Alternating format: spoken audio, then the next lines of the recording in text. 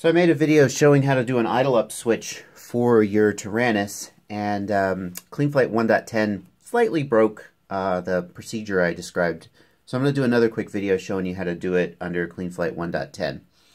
And the what I did in the previous video was uh, I went to the inputs and I had you set up two inputs, one for when the switch the arming switch was up and one for when the arming switch was down. Now, I've got that on my arming switch. I do switch arming.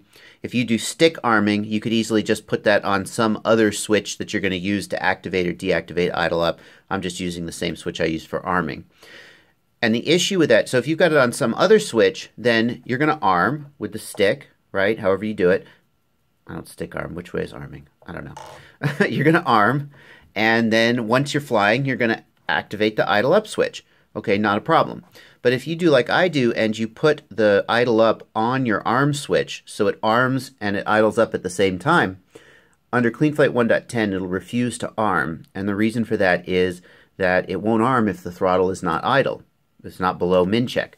So uh, I guess in CleanFlight 1.9 that check happened in the opposite order. First it would arm and then the idle up would happen.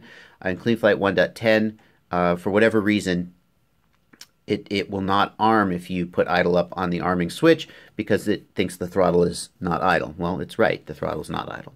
So here's how to deal with that. The first thing to do is to go into the logical switches screen and you're going to set up a logical switch L1 and and this is your arming switch okay so and this is the armed position and you're going to put a delay of 0.2 seconds in there. Um, doesn't have to be. You could you could fiddle with different values, but it has to have a little bit of delay. 0.1 is the minimum the Taranis supports. So if you watch, it'll go bold when the line goes true, and as I arm, you see there's just the tiniest amount of delay, 0.2 seconds to be exact, between when that line goes true and when the switch is flipped. So then the next thing to do is in your input screen, oh, there it was.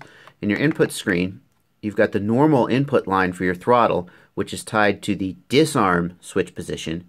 And then you've got the idle up line with the diff curve.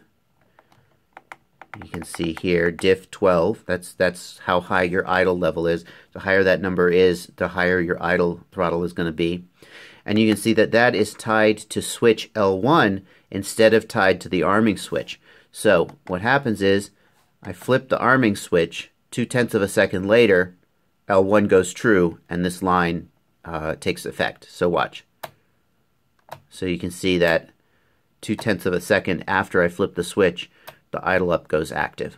And that allows CleanFlight to arm the copter before the throttle goes off idle. Okay, so that's how you do it. Hope that's helpful, and as always, happy flying.